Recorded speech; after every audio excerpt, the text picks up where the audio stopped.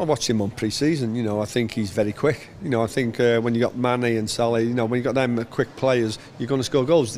What's the difference maybe this year is that we can get behind defenders, where last year maybe we were getting in front of defenders and we didn't have no one to run behind them, and we got that Salah to do that now. You know, we, for me, he's been absolutely incredible uh, on pre-season. You know, he, he scored against Watford and all that. So uh, for me, yes, um, I think we're going to score goals. What we have to do is stop conceding them.